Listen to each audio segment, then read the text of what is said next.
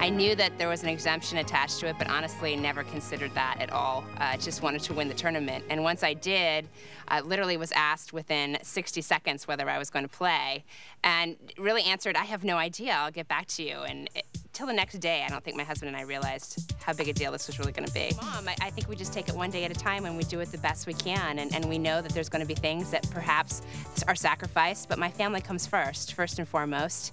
And I appreciate my job and my responsibilities there, but I also want to play really well at the GHO. So we get it done together. I'm proud of her. The PGA Tour is proud of her. She's taken the high road through the whole process. Uh, she's had a lot of different curveballs thrown at her, and she's always as somebody said in Hartford, she has the best smile in the country, and it, they've had a chance to see that. And you can tell through these interviews, there's no airs about her. That's who she is, and that's why I married her. She's a special lady. I've worked very hard. I've practiced very hard. I'm prepared.